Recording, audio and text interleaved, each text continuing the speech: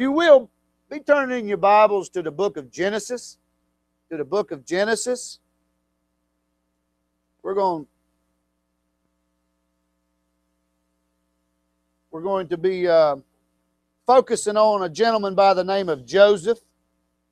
Uh, you've heard of Abraham, Isaac, and Jacob. Joseph was one of the 12 sons of Jacob. Jacob was the one he changed his name to Israel. Israel was, that's something I did not know for the longest time, that all of these nations and all of these uh, tribes, if you will, Judah, y'all have heard of Judah. These were all men's names. They were the son of Jacob or the son of Israel. Israel's name uh, was changed to Israel from Jacob. And Jacob had 12 sons, in which one of them was uh, named Joseph. He was the youngest. And I want to look at him today and just to get started, many times when, and as we bring this message to you this morning, I want you to keep in mind that Joseph was a type of Christ in the Bible. And what I mean by type of Christ, uh, we went through a kind of a, a, a class called the typologies in the Bible. It's where you take a story or an example from one place and you can apply it, the characteristics of something else. And Joseph was a type of Christ in the Old Testament. And you can find that throughout the Old Testament. Matter of fact, Jesus did not just come on the scene as a baby in a manger in the, in, in the New Testament, Matthew. He's been throughout the scriptures. God has been foretelling of his son and been foretelling of a Savior from day one. Matter of fact, whenever Adam and Eve fell in the garden, what did they clothe themselves with?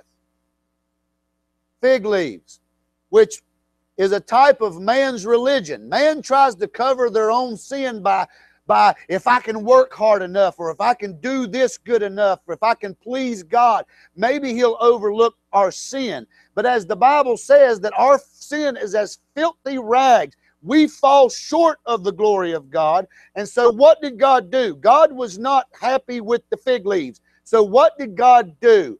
There had to be a sacrifice. And from day one, there has been bloodshed and sacrifice given to cover sin. God said the fig leaves, your religion is not good enough. I must cover you in my righteousness. And so the, the aprons of animal skin, you will find, is a type of Christ. How he's the one that took care of our sin. You go on, Noah's Ark. Noah's Ark is a type of Christ. Those that were found on the ark when judgment came, they were safe. They were safe, and judgment did not harm those. When and I remember hearing a preacher say this. It's always stuck with me. When judgment fell, the ark rose above the judgment. The ram in the bush. When Abraham took Isaac up on the mountain to sacrifice him, and right before he was getting ready to sacrifice him, God said, "Stop." And there was a ram in the bush that took Isaac's place, a type of Christ. And etc. It goes on. The sacrificial lamb when it comes to the tabernacle. You can you can you can go through the law of God and how the sacrifices. You take a spotless lamb. It, it took the blood of a spotless lamb to uh, to satisfy that sin for a year. It was it was the types of Christ throughout the Scripture. Well, Joseph is one of those types of Christ. And you can apply this in many different ways. You can look at it in uh, a personal relationship, a personal walk with God. You can look at it as Israel. You can look at it as uh, God's people. And you can apply this. That's what's so wonderful about the Word of God. You can apply it in many different ways. But I want to look at the story of Joseph for a few minutes. And I want you to turn with me to Genesis chapter 45. I'm basically going to give you my final point, and then we're going to go back and lead up to that final point. I want to go ahead and, and plant this point in your mind. Look in verse number 5 of Genesis 45. Genesis 45, beginning in verse number 5. This is Joseph talking to his brothers. Okay? And we're going to read up to this. Now, therefore, be not grieved nor angry with yourselves, that ye sold me hither. For God did send me before you to preserve life. For these two years hath the famine been in the land, and yet there are five years in which there shall neither be earing nor harvest. And God sent me before you to preserve you a posterity in the earth and to save your lives by great deliverance. So now, it was not you. I got that highlighted in my Bible here. It was not you that sent me hither, but God. And he hath made me a father to Pharaoh and Lord of all his house and a ruler throughout all the land of Egypt. Now, I want to look at Joseph's life and his brothers and in the situation that brought them to the place where Joseph said this to his brothers. Now, I want you to notice that it says, It is not you that sent me here, but it was God that done it. And many times I like to go back to verses of scripture like this and the sovereignty of God verses because I'll be honest with you, sometimes I get a bad case of the pooch mouth. I forget who God is. And I remember there were times in my life that I thought my life was over, son. I had done made some decisions in my life. Hindsight 2020, they were bad decisions. There was times I made decisions that I thought I was making the best decision that I possibly could, and it didn't turn out the way I thought it should. It left me empty. It left me in trouble sometimes. I was known to get in trouble a little bit growing up. Anybody else like that around here? Just me. I know. But sometimes God has to remind me and you of who He is because God wants us walking by His side. God wants us trusting in Him and not ourselves. And I want you to notice a few things. Turn back with me to Genesis chapter 37. We're going to start there. Genesis 37. Begin reading with me in verse 3. We're going to lead up, we're going to look at some events that took place between verse chapter 37 and chapter 45. Verse 3 of chapter 37 reads this Now Israel loved Joseph, Joseph more than all his children because he was the son of his old age, and he made him a coat of many colors. Many of y'all have heard of Joseph and the coat of many colors. And when his brethren saw that their father loved him more than all his brethren, they hated him and could not speak peaceably unto him. Joseph's brothers were jealous over him because of the favor that he was found in the eyes of his father. Joseph got favored more than the other boys. And his other brothers kind of got jealous, and the scriptures use the terminology they hated him and a couple more reasons, and it, it, it, was it was added on to it not only because Father Jacob paid him more attention or favored him more, but listen to what chapter uh, verse five says. And Joseph dreamed a dream, and he told it his brethren, and they hated him yet the more.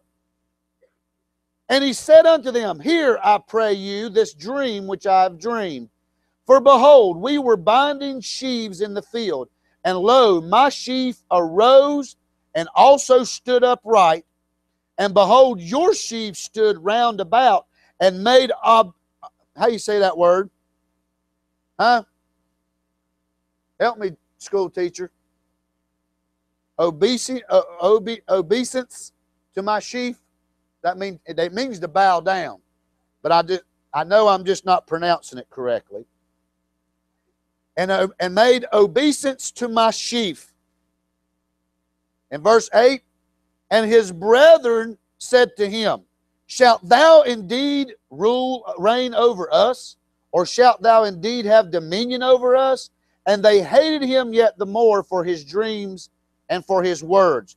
And he dreamed yet another dream and told it his brethren and said, Behold, I have dreamed a dream more. And behold, the sun and the moon and the eleven stars made obeisance to me. And he told it to his father and to his brethren, and his father rebuked him that thou hast. What is this? Uh, said unto him, What is this dream thou that thou hast dreamed? Shall I and thy mother and thy brother indeed come to bow down ourselves to thee to the earth? And his brothers envied him, and his father observed the saying. Now, not only was he being favored by his father, he was also getting these dreams. And remember, dreams meant something to these people back in the day. They were given these dreams, and the dreams were that basically his brethren and his family would one day bow down to Joseph, which was unheard of because the youngest never got that kind of recognition. Back in the day, tradition always gave the eldest the inheritance. They become the patriarch of the family. But I'm loving to read in the Word of God, God always goes against the traditions. He always goes with the younger, just like with Esau and Jacob. He said, The younger shall serve the older. Uh, uh, the, the, the, yeah, the younger shall serve the older, which was completely opposite of what tradition uh, used to teach. Well, you keep reading, and you'll find where Joseph would basically, and from what I read, his brothers were a little bit of some mischief because he would go and and, and, and spy, or not spy, but he would go and keep check on his brothers and he would report back to their dad. So not only was he being favored by daddy, he was also kind of like the family narc. so his, his brothers did not like him. His brothers couldn't stand him. And his brothers were went out to feed the flock one, one evening. And it said that in verse 12, and his brethren went to feed their father's flocks in Shechem. And Israel, Jacob, called Joseph and said, I want you to go and check on your brothers. So he went to check on his brothers. And down in verse number 18, it says, And when they saw him afar off, even before he came near unto them, they conspired against him to slay him. And they said unto one another, Behold, this dreamer cometh. they were letting it fester inside. They had not forgot about this dream. I am not going to bow down to Joseph. He is the younger brother. We hate him. I will not bow to Joseph. I know people like that today when you compare it to Jesus. Jesus is a type of Christ. I hate Jesus. They can't stand him. These atheists and the people that don't believe, they'll tell you, I'll never bow down to that. Well, we'll just see about that, won't we? Never say never. In verse 20, it says, Come now, therefore, and let us slay him and cast him into some pit. And we will say, Some evil beast hath devoured him and we shall see what will become of his dreams. and then verse 21 says, And Reuben heard it, and he delivered him out of their hands and said, Let us not kill him.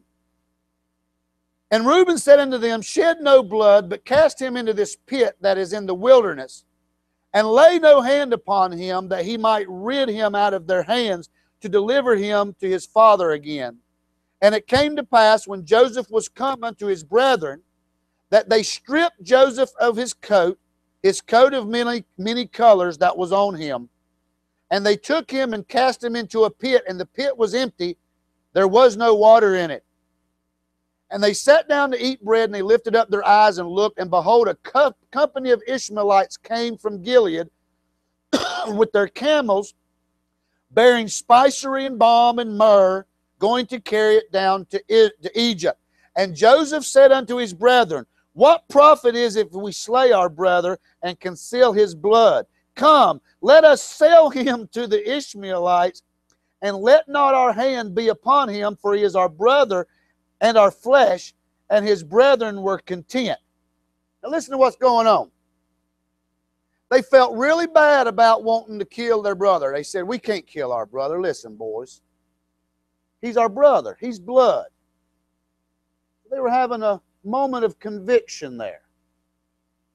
They said, Let's instead, let's sell him. That's a lot better. That way I can sleep at night. I won't be able to sleep if I kill. Let's just let's just sell him. well, they conspired to do this, and they decided to do this. And long story short, you can keep reading. What happened was, is while they were waiting, the Midianites, which were merchants, they come by and they found Joseph in that pit. So they got Joseph up out of the pit and took him with him, with them, and sold them to the Ishmaelites. And from what I've been taught, Ishmaelites were almost like gypsies. They traveled, they wandered, they sold, they traded, stuff like that. Yes. That's where they got their name. Yep. Well, they ended up, the Midianites came back and saw Joseph in the pit, got him up out of the pit, sold him to the Ishmaelites, and the Ishmaelites now have him. Well, his brethren came back to the pit to get Joseph, and behold, where's Joseph? Basically, the Midianites beat him to the punch, is what happened. Well, they get scared because remember, Jacob loved Joseph more than any of the other brothers. So now they got to go back and talk to daddy. What happened to your brother? Well, what they did was when you read the story, they took his coat, ripped it up, dipped it in blood, took some animal's blood, dipped it in it, and took it back to daddy and said, Look, this is all we found of Joseph. Well, daddy automatically assumed, oh no, my son's done been killed by a wild beast. And the brethren did not correct him on that. They basically let daddy believe how it appeared, and they created the scenario. And it appeared that Joseph had been killed, which all the while, Joseph is in the back of a wagon headed to Egypt. Okay?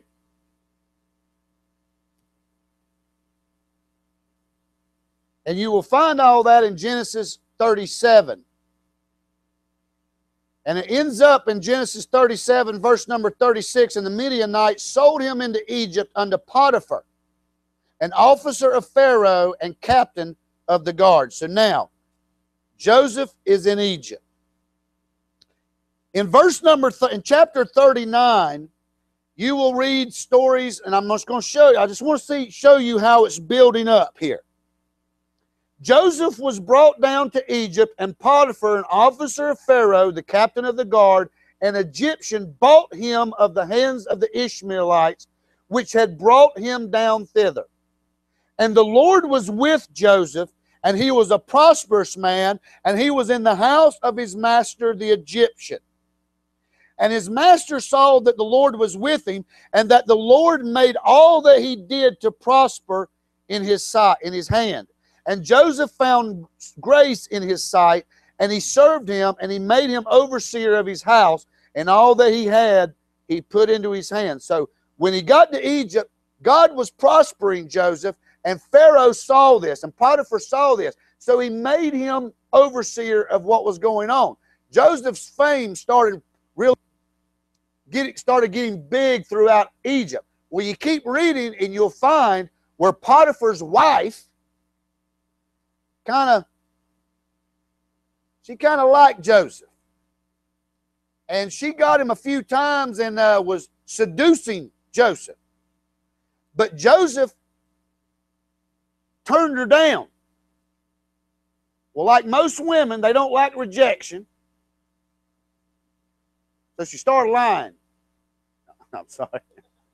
No, this one, Potiphar's wife, did not like the fact that he that she was being rejected and then one night in the chamber she started screaming oh help me help me and the king and pharaoh's people come in and she accused joseph of seducing her so what happens was potiphar took joseph and had him cast into prison. So here, Joseph is now in prison, okay? And we're not talking about the high rise. We're talking rat infested, chained to the wall dungeon prison, all right? So he was locked up and imprisoned over lies, which is another type of Christ, how he was convicted of something he did not do. All right? So you that's what I meant by typology. You can see characteristics that kind of fit together. Well, it come to pass in verse chapter 41 that Pharaoh had a dream. And I want to read this dream. In 41 verse 1. And it came to pass at the end of two full years that Pharaoh dreamed, and behold, he stood by a river. And behold, there came up out of the river seven well favored kine. Now, a kine is a cow, just to let you know. And come up out of the river seven well favored kine, and fat fleshed, and they fed in the meadow. And behold, seven other cows came up after them out of the river, ill favored and lean fleshed, and stood by the other kine upon the brink of the river. And the ill favored and lean fleshed cows did eat up the seven well favored and fat kine, and so it awoke Pharaoh. And he slept and dreamed the second time. And behold, seven ears of corn came up upon one stalk, rank and good and behold, seven thin ears and blasted with the east wind sprung up after them. And the seven thin ears divide the seven rank and full ears, and Pharaoh awoke, and behold, it was a dream. And in time purposes, Pharaoh woke up and said, he called all of his magicians and all of his wise men and said, I need to know the interpretation of this dream. This dream has really got me bothered. Well, none of them could do it. And one of his officers said, Sir, I know of a man that might be able to help you out because he helped me whenever I was in prison with him.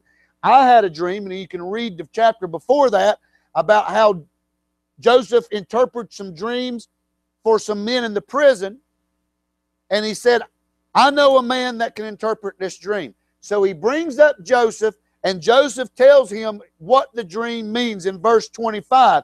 And Joseph said unto Pharaoh, The dream of Pharaoh is one and I need you to notice what he says right here. Look in verse 25, chapter 41, in verse 25. And Joseph said unto Pharaoh, The dream of Pharaoh is one. Remember, he had two dreams, but he says, Your dream is one. God, ha- God hath showed Pharaoh what he is about to do. That right there, whenever I read that, that told me God's got a plan. God is not making this thing up as he goes. He said, and listen what he says. He's showing Pharaoh.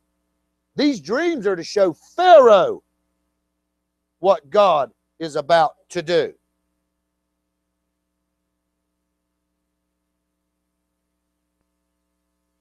Verse 32 And for that the dream was doubled unto Pharaoh twice.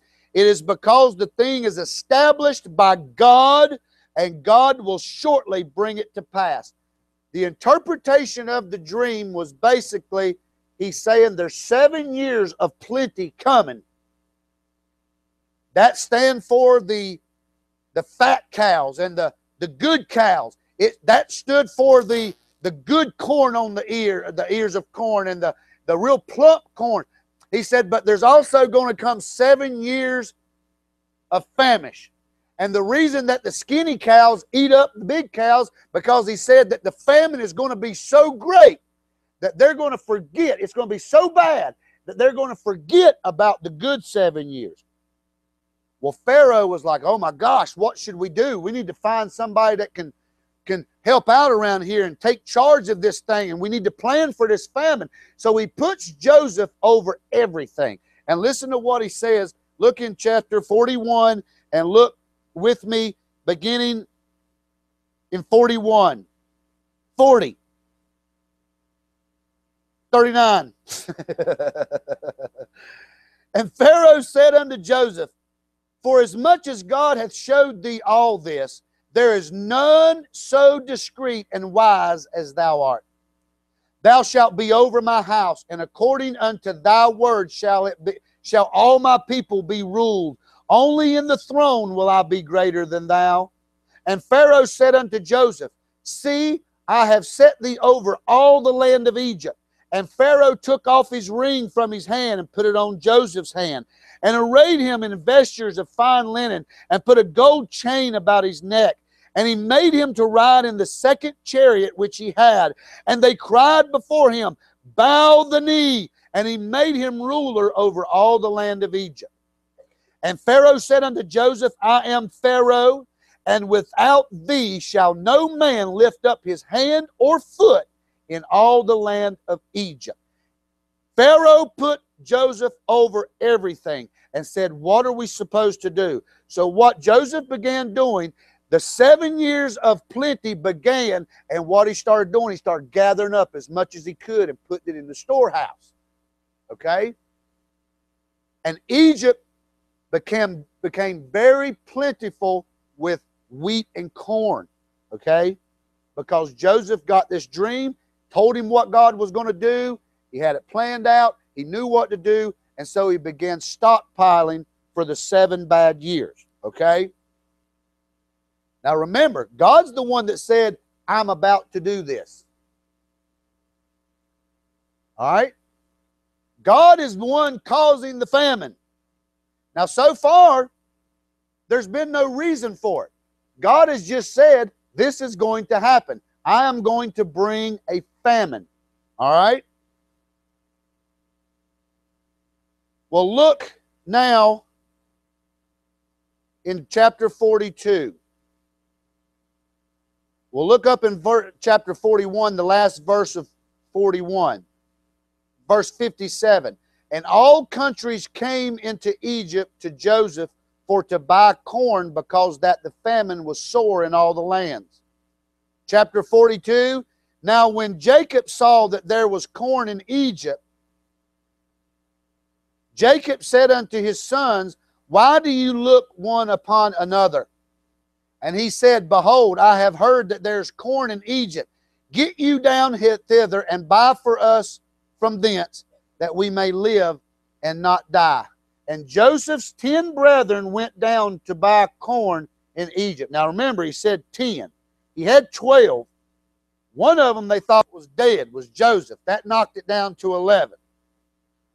Well, Joseph, if you read, he says, You can't send Benjamin, which was the next to the youngest. He said, Because I've done lost one son. And he says, And if I send all you boys out and something would happen, then that means I would have no sons to carry on my name. He says, So you got to leave the youngest one with me. So 10 of them went to Egypt. Now remember, Pharaoh had put Joseph over all of his all of Egypt. And y'all know how Egyptians are. Have you seen the garb and everything? I mean, they'd put the array, they arrayed him in gold, fine linen. You know he was all decked out, man, because I mean Egypt was all about some some fanciness back in the day. They'd even wear makeup. Well, it says that his brethren came into Egypt to buy gold, to buy corn, and said they come up before Joseph because they had to appear before Joseph. But because he was king and Pharaoh, it was automatically uh, known that you don't come up to Pharaoh like this. You come up to Pharaoh like this, right? Well, his brethren comes in unto him, right? They think they're walking in unto an Egyptian, well, the Bible says that Joseph recognizes his brothers, but they don't recognize him. Number one, they come to him with their heads bowed. Number two, he's in all this garment. He's been it's been years since they've seen him. They thought he was dead. They didn't recognize Joseph. Okay? But let me say this at this point. These men, when Joseph recognized their brethren, these men were as good as took care of as the day that he actually started taking care of them because he recognized them. But guess what? They didn't recognize Joseph. And that kind of feeds into how some people has been, their salvation's been taken care of. But just because they don't recognize it doesn't change the situation. Okay? Joseph saw his brethren. And from what I got out of it, Joseph started messing with him. he started messing with him. He remembered the dreams that had been dreamed. My brothers shall bow down before me. Well, here they are in Egypt, bowed down before Joseph. Well, Joseph accused them of being spies. And they were like, oh, no, no, no, we're not spies. And they said, we are just come to buy food for our family. Matter of fact, we've got one brother left at home with my son, with, with our dad. Joseph said, Go get your other brother. I'll not sell you any food or nothing until you go get your other brother and bring him back to me. Well, see, Daddy done said, I don't want to send you Benjamin. So they go back. They go back. It's a, it's a long story. You can read it. But they go back. Joseph has, and they brought money to buy food, right? Well, while the boys wasn't looking, Joseph commanded his servants to fill their backpacks up with corn and to put their money back in their backpack. In other words, he didn't charge them for it. Well, his brothers are on the way back and they find corn. Not only do they find corn in their bags, they find their money. And it scared them because they thought, oh my gosh, he's done accused us of being spies. They're gonna they're gonna think we're thieves too. Well, they get back, long story short, they run out of food. Daddy says, Go back to Egypt and buy more food. They said, The man said, Don't come back without my brother. Well, they had a big argument back and forth. And one of them, Reuben, stood up and said, I will stand for Benjamin. I will replace Benjamin. I'll make sure he comes back to you, Dad. So they go back.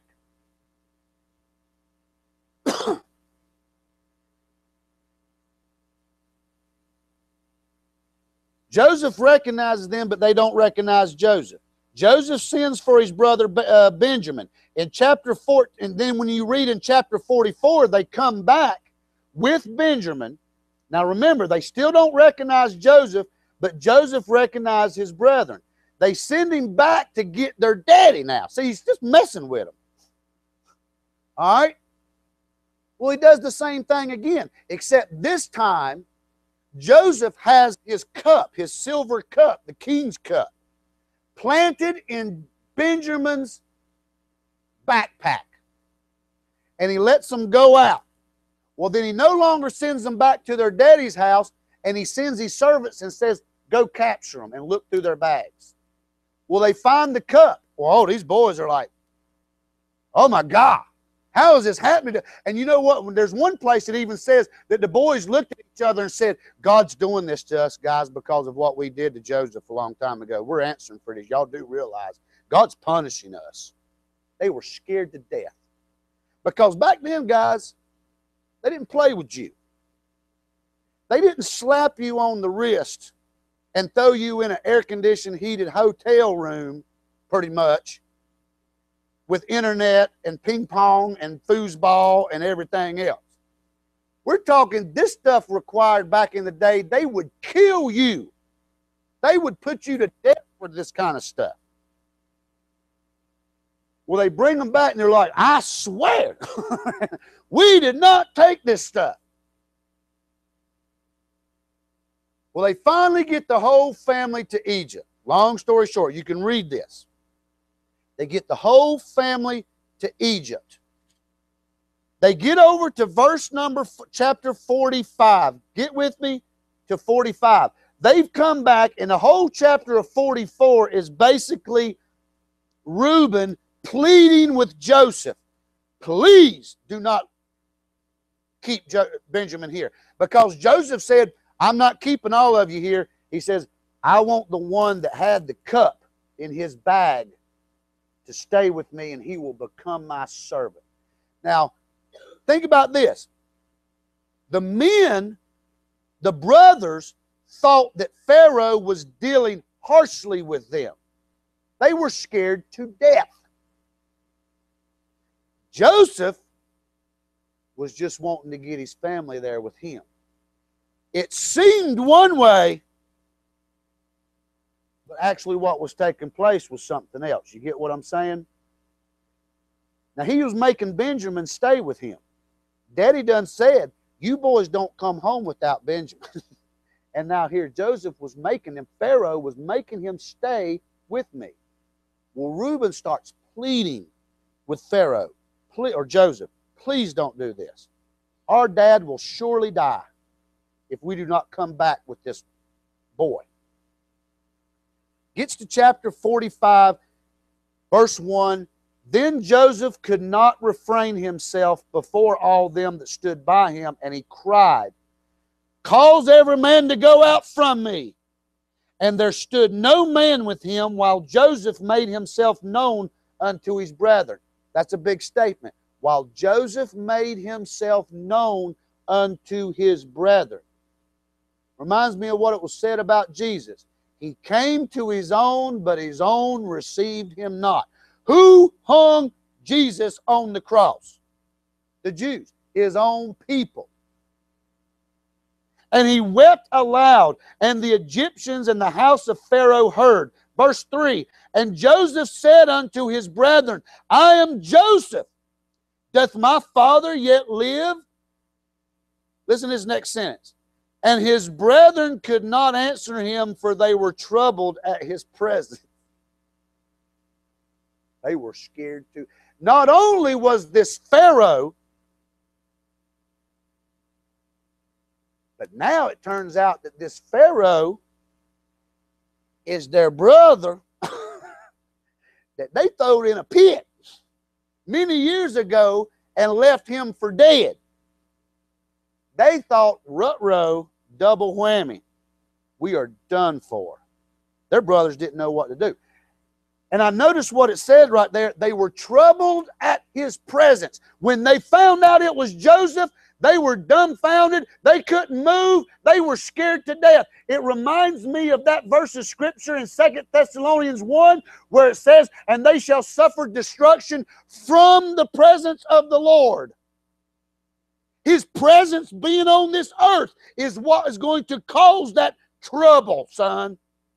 Well, these men were the same way. It was because of his presence. They were scared to death.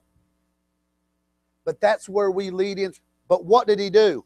If you go back and look, Joseph was blessing these men every time he would send them back home. He would fill their bags with corn and money.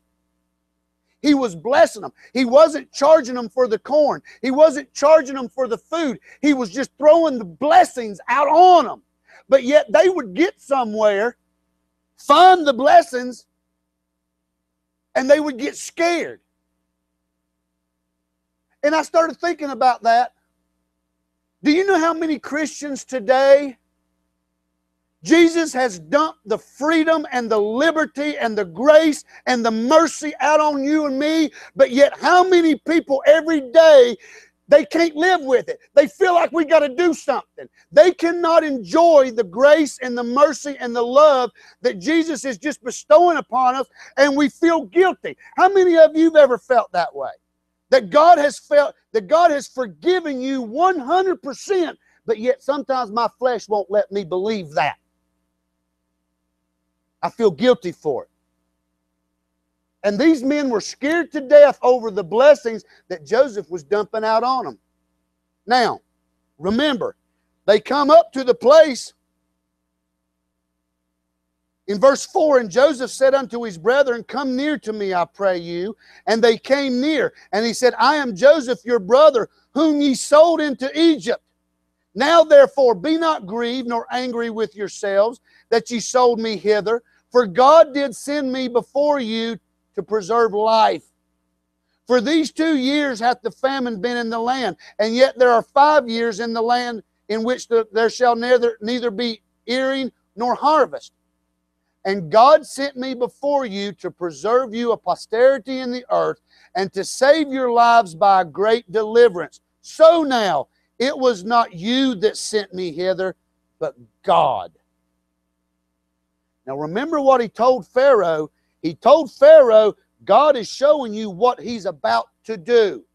So, you know what that means? That means that back whenever Joseph was with his father and they were conspiring to kill him, the sovereign God of heaven already knew about this famine that was coming. He already, because God is the one that done it.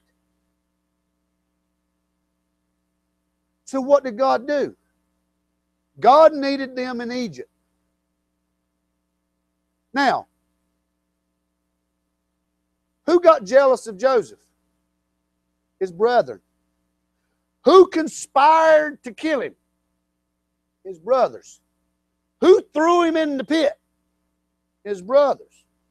Who ended up getting him and selling him? The Midianites and the Ishmaelites come into play. Right?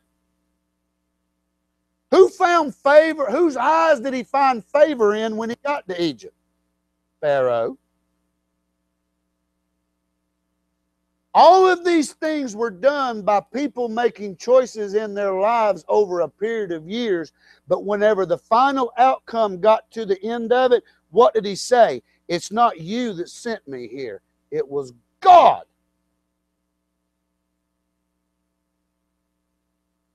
And I look back into my life even today, ladies and gentlemen, and I'm sure you can do the same thing. Let me tell you something. Whenever I was sitting in my pool of bad mistakes, I couldn't see it. But hindsight 2020, looking back into my life now, I see the mighty hand and the providential hand of God moving in my life that every single bit of it has brought me to the place where I am now. And guess what? We're not finished. We've still got some journeying to go, praise God.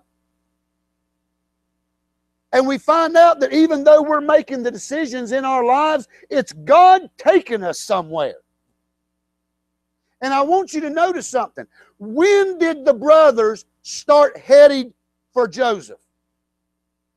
In the famine. See, as long as things were going good, they were still over in their land in Egypt. So, I mean, Joseph's in Egypt. But when trouble came, people say, well, what's the judgments got to do with it? Hey, it's them times whenever people It's easy to seek God whenever our bank account's full and everybody's healthy and things are just going our way. But you let trouble come, son. God uses it as a tool. Just like the old saying, we've said it, we've said it time and time again. With no destruction, there is no rebuilding. With no perishing, there is no prospering. It's a contrast. God used the famine to get the boys headed to Egypt. And by the way, just like Joseph was a type of Christ, if you keep reading, you find out that's the way God got uh, uh, Israel into Egypt. And what happened shortly after that? You can start reading at the end of uh, Genesis and the beginning of Exodus, where it says that the children of Israel prospered so much in Egypt that they become so big that that's when Pharaoh, because see, Pharaoh was a good guy at this time. He was taking care of Israel. He was taking care of Jacob and his brethren. You read the rest of the uh, Genesis, he was taking care of them. But then it says that another king took over Egypt that knew not Joseph. And he saw that Israel was growing so prosperous, he says they become mightier than us. He said, Let us deal wisely with them. And that's when they were put in bondage, which caused what to happen after that? God sent another type of Christ, Moses, which was a deliverer, the promised child, to take them out of Egypt. See, everywhere you look, guys, it's Jesus. Jesus, Jesus, Jesus. He took them into Egypt so he could take them out of Egypt. And every one of them in the Joseph story, you can look at it in the way of being brought to Jesus. What it took to get these guys to Jesus. And can I tell you something? That's what God's doing. He's drawing us to Jesus. He's drawing us to Joseph. He's drawing us to the prosperity that, that, that, that Christ has for us and to preserve the way. Though the situations look bad, though it looks gleam, uh, uh, bleak out here, it looks like, oh my gosh, the world is just going to hell in a handbasket. Little can we tell it's because of these events that God is taking us to Joseph. And the decisions that we've made, the decisions they're making, It's all working for the good that God is doing. Hey, these boys were scared. They thought their brother was dead. They done thought they done messed up. But come to find out what happened. God had his mighty hand over every bit of it the whole way. And it reminds me that when Joseph reveals himself to his brothers, it reminds me of 1 Timothy chapter 2, where Paul says, Who will have all men to be saved and to come unto the knowledge of the truth. In other words, the scales are going to be wiped away. Turn with me to Isaiah 25. Isaiah chapter number 25, and I'm going to close with this verse of scripture.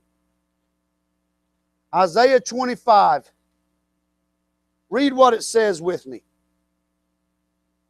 Isaiah 25, verse number 6.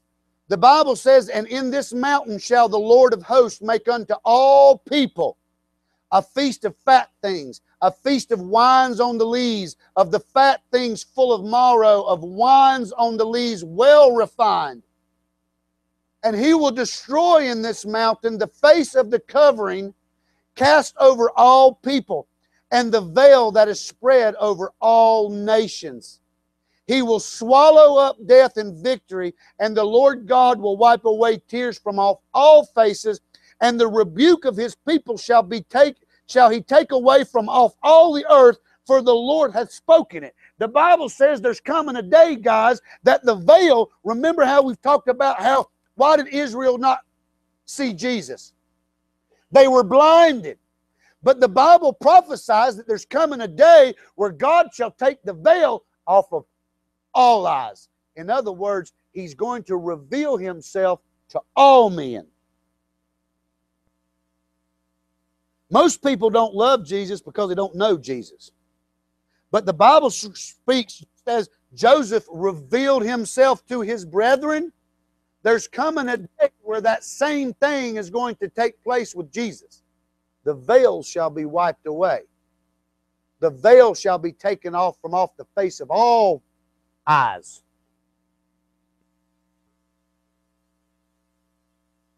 I forget who God is sometimes. And I'm thankful today. I've heard people say things like this well, God can take your mind. Your, God can take your bad decisions and make good out of it. That's like that's like saying God just uses what we give him. Like God God takes lemons and when we give God lemons, he makes lemonade. No, no, no. God created the lemon. God created the situation. It's not that God takes our bad decisions and works good for them. God ordains these bad decisions to head to the good. That brings peace to my heart. I hear people say, well, what's the use? You know, if God's in control of everything, God's in control of everything brings peace to my heart because can I tell you something? If God was this God just sitting back waiting to see what we going to do, What if he decides not to intervene? I'll mess this thing up. I've seen me do it. But whenever I find out that it's all being ordained and orchestrated by a sovereign providential hand of God, it makes me sit back and say, well, you know what? The situation, just like these brothers, the situation don't look good. The hindsight 2020, I know that whenever I get through this storm, I'm going to see the results of what God has been doing this whole time. Have faith in your God. We're not talking about a God sitting on the sidelines this morning waiting to see what we're going to do yet next. We serve a God this morning that is orchestrating every single piece of our life and he's taking us somewhere. He's heading us in a direction and we're going to wind up there. That makes me want to praise him. I don't know about y'all, but that makes me just makes me just like Brother Whalen. By the way, check out Brother Whalen. I keep forgetting uh, Brother Whalen's Simple Truth. He had one on there the other day talking about enjoying the freedom that God has given you to relax in it. And that's what I'm doing. But just like these brethren, sometimes people are given freedom, but they don't know how to use the freedom because they've been told all this time, you got to do something. I'm learning to bask in my Savior's freedom, in the liberty in which He's given us. He's taken us to Joseph. He's taken us to Jesus. That's where, that's where we're, we're getting closer to Him each and every passing day. Every situation that we're faced with, we're being taken to Joseph. And that brings peace to my heart. Father, thank you, Lord, for your providential hand. Thank you, Lord, for a peace and an understanding, even in the times of trouble, even in the times of, of, of, of, confusion. We're thankful that you are not the God of confusion. Lord, we get confused, but it's because of a lack of understanding on our part. You are the sovereign creator, you are the sovereign God, creator of heaven and earth. And I'm thankful that your divine plan is being taken place throughout history, throughout time. As the days pass by, Lord, your plan is just unfolding right before our very eyes. And I pray that you will get us on your plan, that you're not a remote control God, that we are to get on board with your will. And I pray, God, that you'll give us wisdom, give us knowledge. For within our own selves, Lord, we can't seek you, we can't know the things of God outside the Spirit of God. And Lord, let us have peace in these troubled times when, when things doesn't seem like they're going right. Let us be reminded of the God we serve today and that it is you that is taking us there and not we ourselves. And Lord, we love you. We thank you for loving us. And we ask these things in Jesus' precious and holy name. Amen. Amen. Have a wonderful day in the Lord, guys. And uh, enjoy this Sunday evening and shake hands with one another on your way out. We love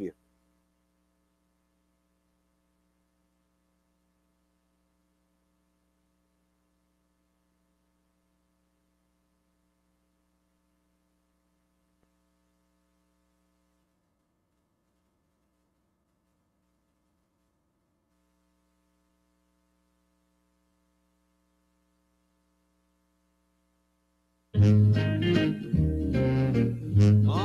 chipmunks. Ready to sing your song? I'll say we are.